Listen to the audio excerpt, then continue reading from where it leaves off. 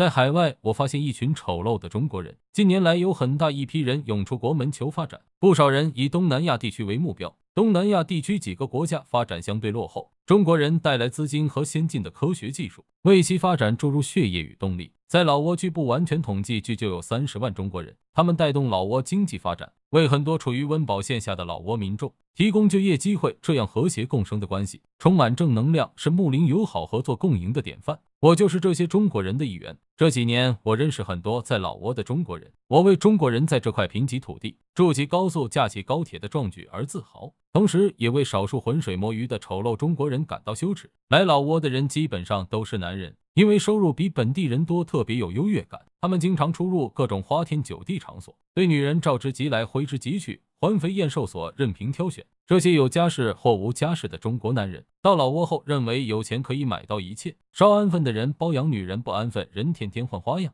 夜夜做新郎。老挝女人为了生存，别无选择，成为这类有钱人砧板上的鱼肉。在中国，他们啥也算不上，到这个人均月收入几百元的国家刷存在感，真是可悲可耻。最近就爆出新闻，在万象奥斯卡酒店，两个中国老男人同时看上一个老挝女子，不惜大打出手，浑身是血，场面血腥，真是让老挝人看足了笑话。这种在风月场合争女人心态，应该是在日常生活中养成的习惯。中国是礼仪之邦，我们走出国门，这些人应该属仁义之士，个人素质低些没关系，属，但要收这些，不能丢人丢到国外。打开抖音，搜“老挝”两个字的用户，一下子跳出很多在老挝拍视频的人，其中不乏是介绍老挝风土人情的作品，值得欣赏点赞。但更多的中国低档男人在老挝抖音等各种视频，其本人和作品一样是下三滥，在老挝却居高临下，利用各种手段刷流量，其行为令人作呕。打开他们的视频内容，都是以老挝女人为话题，什么老男人在老挝遇真爱的等等，分享中国男人在老挝的优越性，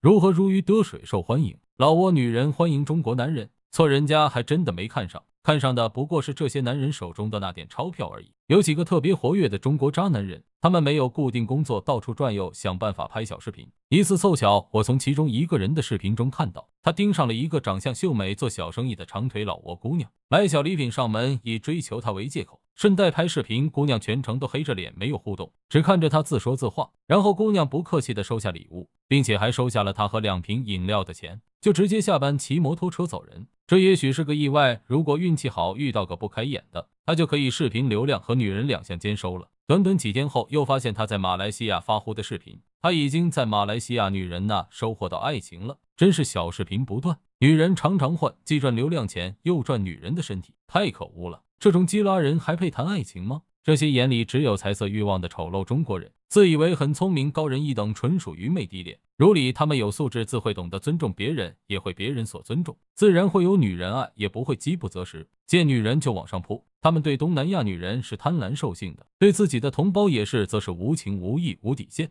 几年前就有网友在我视频后跟帖：中国女人来老挝很意外，处境尴尬。有位姐妹说过，中国女人在老挝没有市场。现实生活的确印证了这个说辞，相信不只是在老挝，在缅甸、马来西亚和泰国等国家也是同样情况。小爱是一位中国离婚女人，离开故土，在异国他乡开始工作、生活及爱情，渴望可以有个全新、充满希望的未来，这本无可厚非。很快，她在老挝遇到一个对她关怀备至的中国男人，这让她感到温暖亲切，两个人很自然的在一起了。让她难过的是，这个看似温暖的男人。还和一些老挝女人纠缠不清，两边都想占，不似中国女人感情至上。老挝女人和中国男人上床大多是因为钱，没有钱就没有爱，这也养成了中国男人的认知，认为付钱给老挝女人是应该的，而和无偿和中国女人发生关系也是应该的。小爱是动了真心的，在相当长时间里患得患失，饱尝煎熬，也舍不得放下。直到有一次，他手机钱包里钱提不出来。吃饭都成问题，向男朋友求助。这个渣男说了一堆困难，只留下十万老币，可以买到五碗面条，就消失不见。等小爱手头周转开后，他像苍蝇一样又围了上来。从这件事后，小爱彻底伤心死心，回国了。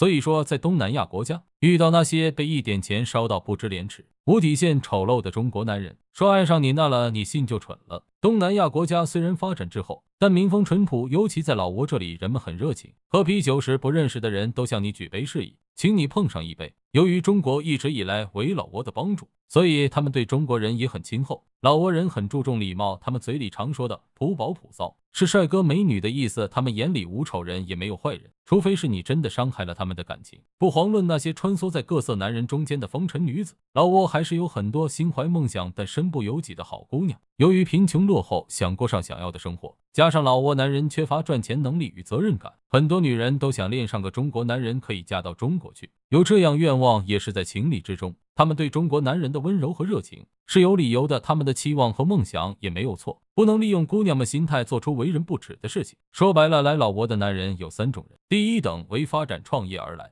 第二等为谋生存而来，第三是下等人，就是为女人而来。所以近年来，只要网络上出现“老挝美女”几个字，就会自然的让人想入非非。这个现象的滋生，第三种人没有少做助力。有关老挝的视频，我懒得去看，无非就是拍他们的老挝女人日常琐事，或告诉大家泡个老挝妞有多么容易、简单而直接，等等无聊的内容。有位同样也是在拍视频的作者，他的一个视频我连看两遍，内容清新，各观点中肯。我喜欢其中这样一句：既然来到国外，就不是光代表你自己，不注意个人形象，仍让别人唾弃鄙视，毫无尊严的丑陋行径，就是给祖国抹黑。中国人在国外的生存环境和形象，朋友们，你们遇到过这样的人吗？欢迎进入讨论，也欢迎订阅我们的频道，谢谢，再见。